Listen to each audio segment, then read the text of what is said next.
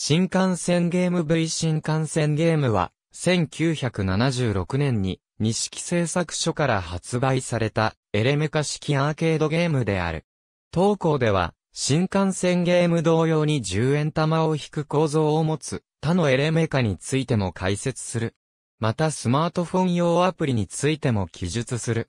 投入した10円玉をパチンコのように引いてゴールを目指すゲームである。このため、筐体内部に個別の玉などを入れる必要がない。また同じエレメカとして高い人気を誇る国取り合戦や山登りゲームは電気を使うが、新幹線ゲームは種と重力しか使わず、当たり券の排出も重りやバネなど機械的構造のみに頼っている。つまり、電気を全く必要とせず構造が簡単であり、設置点にとってはメンテナンスも容易という特徴を持つ。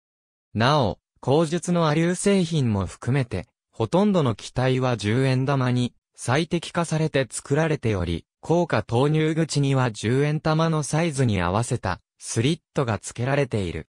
このため10円玉より大きな効果は入らず、例えば直径、厚さにおいてより小さな外国製の効果などが入ったとしても、投入後にサイズ判定用の穴を通って排出されるため、使うことはできない。なおエレメカには、効果だけでなく、メダルが使えるものもあるが、このゲームは、穴の大きさで判定される要素が大きく改良が困難なため、メダル改造はほとんど存在しない。筐体外部の効果投入口から10円玉を投入する。10円玉が正しく判定されると、スタート地点である右上に、その10円玉が入る。スタートからゴールまで、左右両側に何段かのバネ式のレバーがあり、これを順々に引いてゴールまでの到達を目指す。最下部のゴールは、効果1枚分の幅の通過式スイッチのあるスリットになっており、そこに10円玉を入れることができれば、当たり券が排出され、当たり券の引き換えは、店の店主に任される。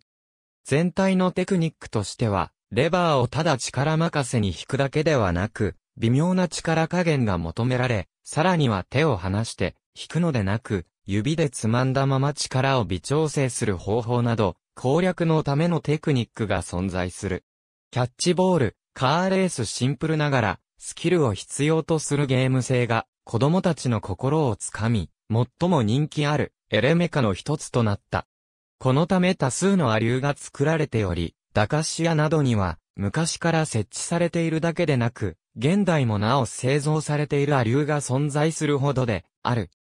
10円玉が動く、あるいは10円玉を飛ばすという要素をイメージしてか、新幹線同様に乗り物の移動、または野球やサッカーをはじめとした子供に人気がある球技をモチーフにしたものが多い。アリュー製品の中には10円玉の通り道や穴が他のゲームと同じという、ある意味コピーゲーム的なものも存在する。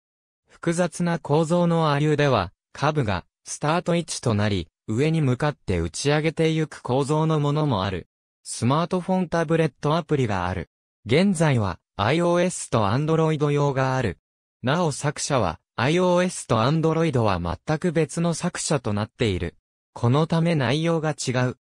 iOS 版はバンダイナムコゲームスからリリースされており、オリジナルのゲームのほか、独自のルールを付け足したバージョンとなっており、JR 東海や JR 西日本の承諾を得ている。駅にはエレメカ登場時には存在しなかった品川駅なども存在する。ダウンロード時の料金は無料だが、コインは10枚までは、時間が経てば、無料で、これ以上の枚数を使うには、有料となる。アンドロイド版は、個人作成で無料で利用できる。こちらは、PC などのフラッシュ版として、ウェブ公開されているものをそのままアンドロイドに移植されたものとなっている。